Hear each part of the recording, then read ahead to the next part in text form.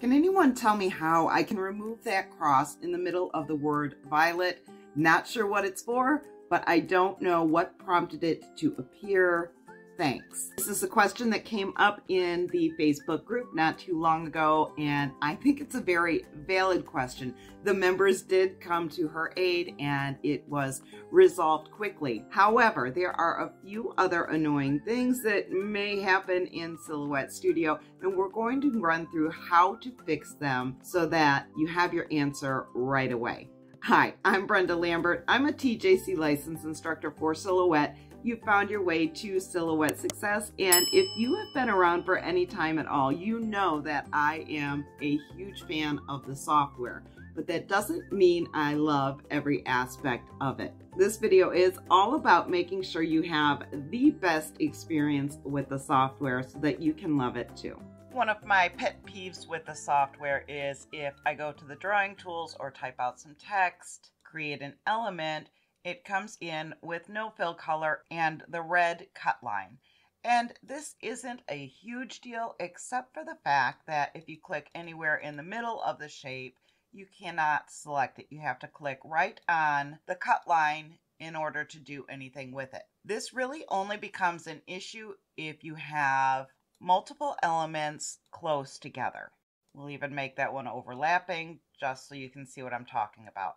Now these are very close together and if I try to select one or select the other, it's kind of hard to tell which one you are grabbing at that point in time. In order to fix this, you can go down to your preferences here, click on that little gear, head over to defaults, which is the second tab, and come down here where it says default fill style. You can select solid fill instead of outline only click apply, and then OK. Now when I head over to my drawing tools and grab a rectangle and draw that out, it comes in filled with color and it's much easier to grab and move around. The second thing that I found mildly annoying when I first started using the software is that by default, when you draw out a shape from your drawing tools, it just stays on draw a shape.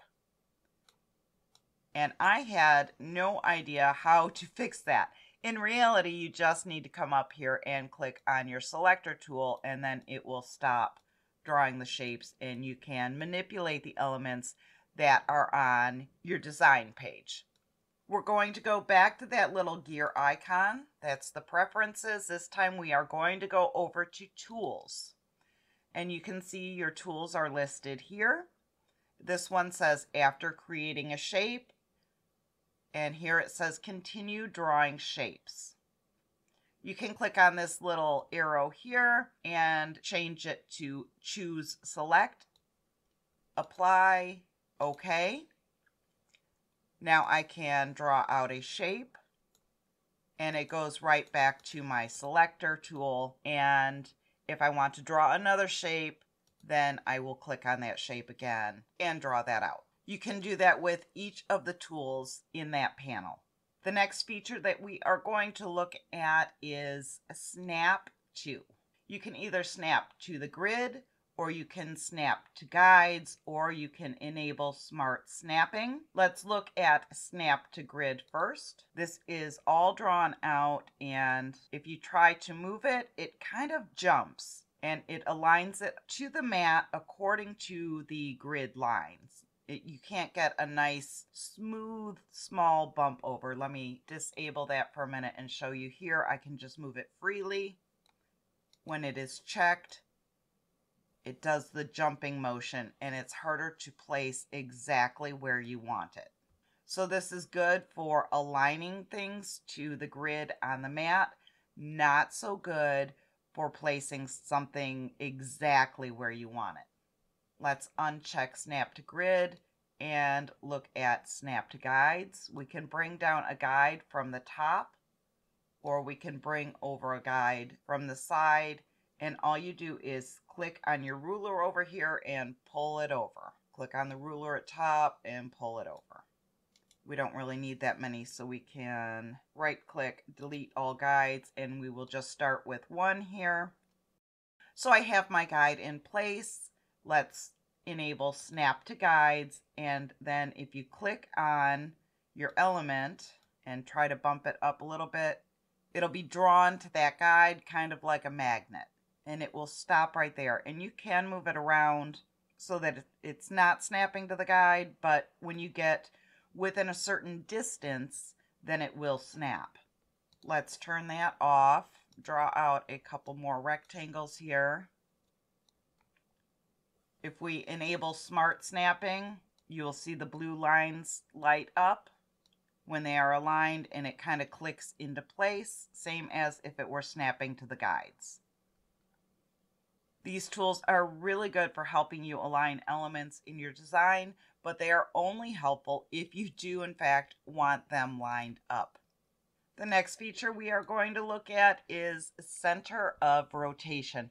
And this one is super annoying because it can be turned on and off simply by clicking O on your keyboard.